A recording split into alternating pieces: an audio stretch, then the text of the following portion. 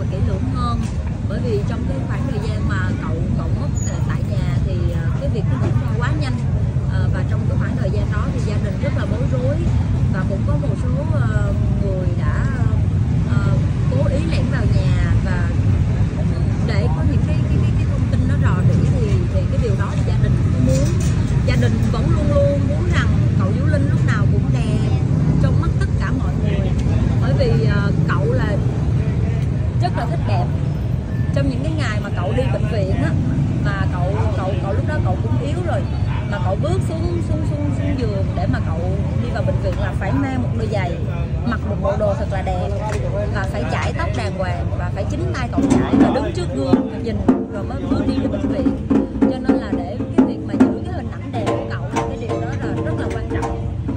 luôn luôn mong muốn rằng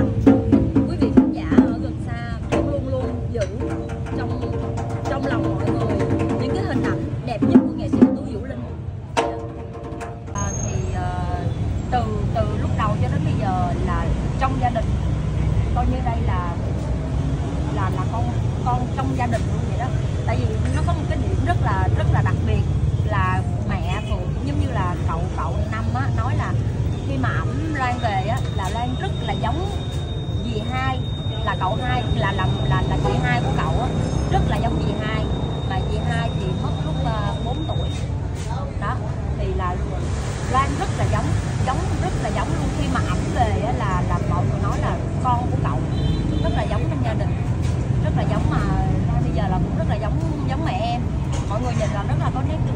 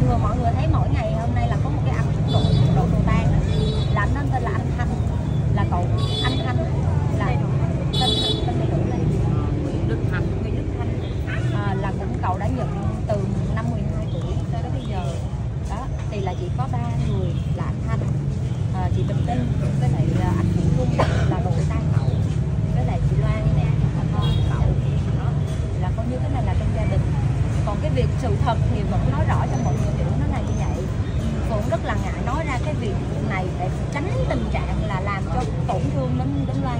Cũng không muốn là mọi người có một cái ờ, việc ghi không đúng hoặc là những cái dục tích gì đó để tránh ảnh hưởng đến đến đến, đến, đến tâm lý của Loan. Như thế này bởi vì Loan coi cậu như là Loan coi cậu là cha máu mủ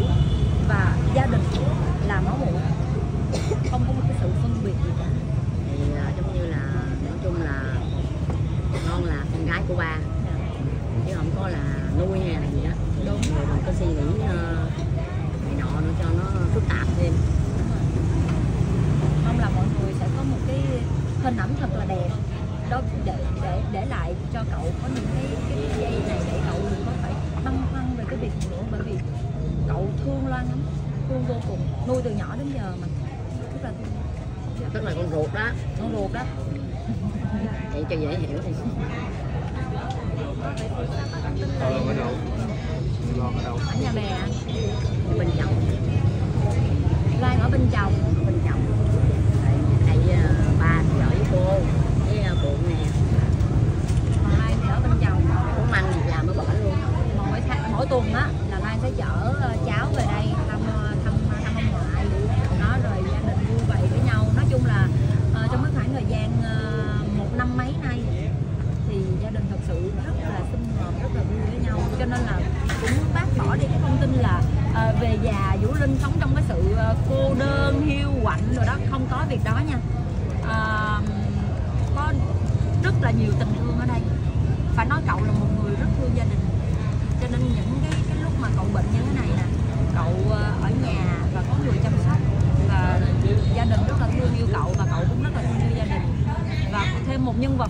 muốn nhắc đến là để cho mọi người biết luôn, giống như là một cái lời tri ân, một cái lời cảm ơn của gia đình đối với một người chị. Kêu cậu là cậu đi theo cậu mười mấy năm nay rồi. Như là nhất cử nhất động, không rời nửa bước.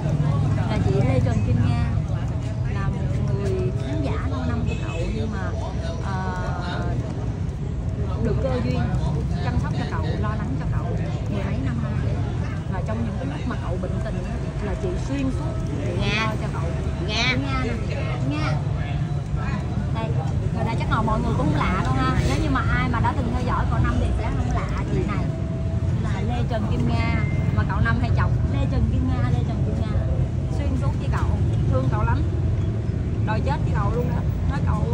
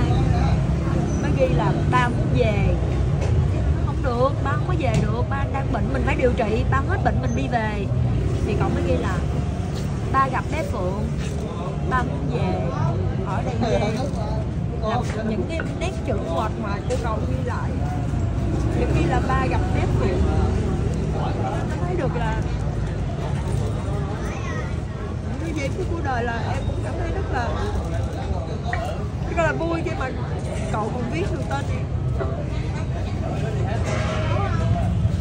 Ờ, ờ không biết là tại vì uh, con trai của chị á là con gái con gái. À, con con gái của chị rất là thương quý ông cậu á dạ. rồi trong clip thì em xem cũng nhiều thì không biết là bây giờ bé như nó có ý thức được cái chuyện gì đã xảy ra ờ, do là em em xúc động quá em muốn có thể nào kiềm chế được á đương nhiên bé nó còn bé không có hiểu và nó cũng không có, nó không nó không có giống như mình mà nó đau buồn quá. Nhưng mà khi em nói là, bi ơi, bây giờ ông năm không có gãi chân con được, không có vợ con rồi tao ông năm hay gãi gãi cái chân đó, nó hay vợ chứ nó.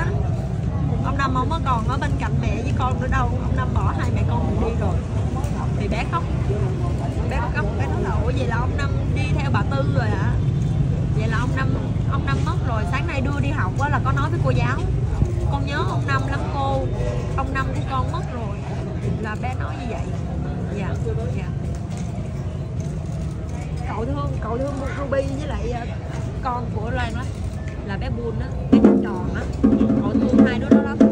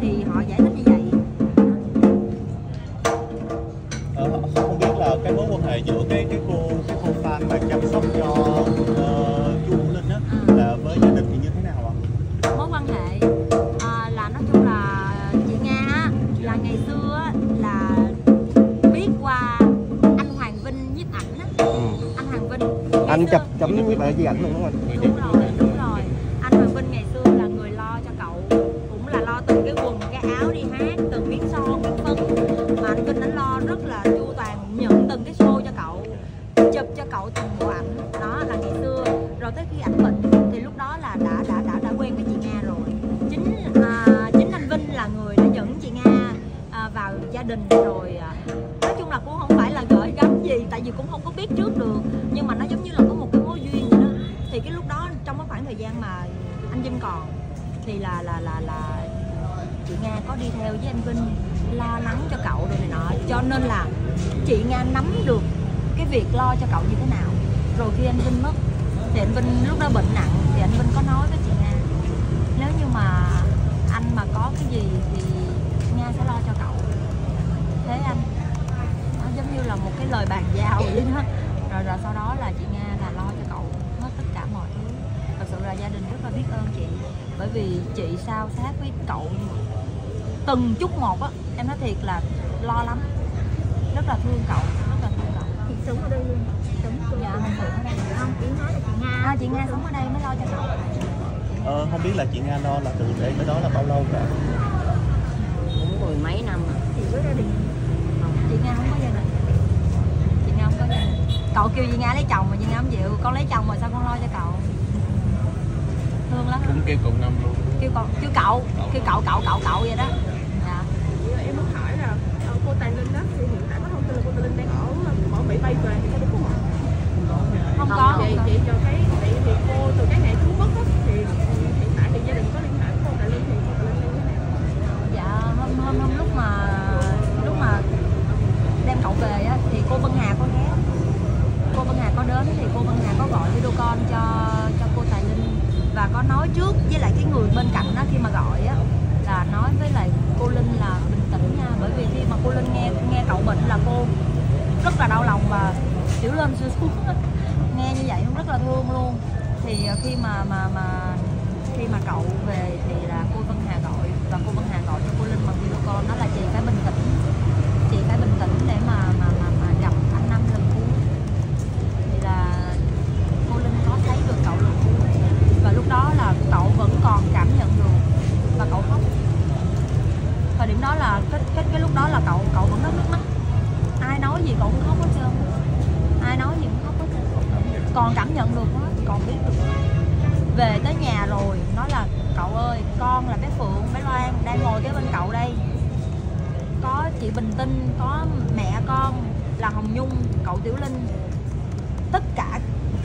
người trong gia đình đều ở đây với cậu và cậu đã được về nhà như cậu muốn rồi nha cậu.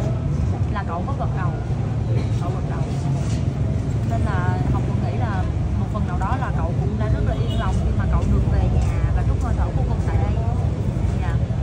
Cái câu cuối mà ờ, cô Tài Linh nói với chú là bản thân em không nghe không nghe em không nghe được dạ em không nghe được cái câu đó tại vì ờ, lúc đó là hoảng loạn hết em cũng phải chạy lên chạy xuống lo cái này lo cái kia cho cậu rồi bác sĩ ờ, cũng ra vô để đo huyết áp rồi này nọ. Là khi mà em nói cái câu đó xong là cậu gật đầu rồi á là tại vì ờ, trường hợp đó là tại vì ba về còn cái ống ở trong miệng. rồi, không có nói được chuyện. Không có nói được chuyện. Nhưng mà cái tâm thức vẫn còn sáng không biết được. Là cái lúc mà quyết định đưa cậu về á là mẹ em lay mẹ em gọi á thì là lay lay rất là mạnh. Mẹ em nhéo cậu kêu cậu anh năm ơi anh năm ơi em em mà cậu hoàn toàn không mở mắt. Xong là gia đình quyết định đưa cậu về làm thủ tục đưa băng ca vào để chuyển cậu ra ngoài xe cấp cứu đưa về thì lên băng ca vừa đẩy ra cửa của bệnh viện. Là mẹ nói là, anh Năm ơi, bây giờ mình đi về nhà nha anh Năm, nhà mình. Số 5 đoàn thị điểm phường 1 quận Phú Nhuận nha anh Năm, là cậu mở mắt. Cậu mở mắt, cậu mở mắt ra và mẹ em thấy điều đó là mẹ em la lên, anh Năm mở mắt, anh Năm mở mắt. Là đi lên xe về thì trên xe là có mẹ với Loan liêm diêm liêm diêm mà trên xe là cứ kêu cậu mình đi về đi về nha. Thì vào nhà là là, là cậu mở mắt to ra để cậu nhìn có đúng là về nhà hay không. Là chồng em thấy điều đó chồng em là người ờ, đưa cậu thì chồng em thấy là cậu còn nhìn anh nữa. Cậu anh à, anh anh hồ nói là cậu còn nhìn anh nữa và cậu rồi cậu lúc đó là cậu tỉnh mở mắt sáng và nhìn nhìn mọi người đưa mình lên trên lầu và rồi tới khi mà em nói câu nói đó là bắt đầu cậu yếu dần. Yếu dần còn cái câu mà cô tài linh nói thực sự bản thân em không nghe được. Ờ. cô linh thì ờ, hỏi có nói gì? Qua trẻ điện thoại thì nói ờ, anh đi bình hãng bình an nha. Em về không có được. Cô linh khóc nhiều lắm. Ờ, chị Loan ơi không biết là chị Loan lớn lên ờ, với người cha là uh, chú Hồ Vũ Linh á thì là chị Loan lớn lên như thế nào ạ? là à, ý là nói là à, được cái sự bao bọc của cậu như thế nào cậu thương như thế nào và cậu lo lắng